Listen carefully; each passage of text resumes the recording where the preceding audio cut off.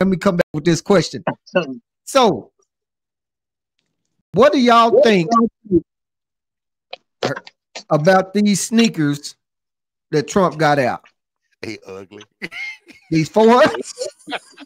They're not ugly.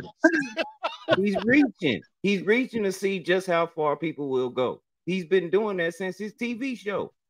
Yeah. He's so self. Oh man, he, he's so selfish that he likes people. This is our president. He likes people that's willing to steal, will willing to steal, kill, die, and lie for him. Them the people in this cabinet. That's why everybody around him goes down constantly all the time. And we're like, But- yeah, we love him. He loves us. No, he don't. He love himself. Exactly. And I love that uh he got these corny shoes off because just like the red hats used to be identifiers for the um 100% lovers of uh Agent Orange, the shoes gonna be the next thing, man. They're just identifiers, and they're gonna gladly give their money because what did LBJ say?